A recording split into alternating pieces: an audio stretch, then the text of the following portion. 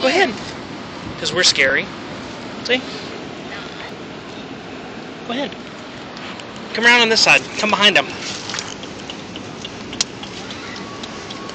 So you won't know. Uh, it'll make you more comfortable. Go ahead. Just touch the back of his shell. He can't reach behind him.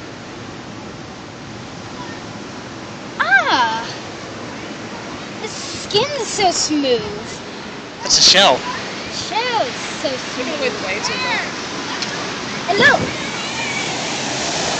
Oh, what am I doing? Careful!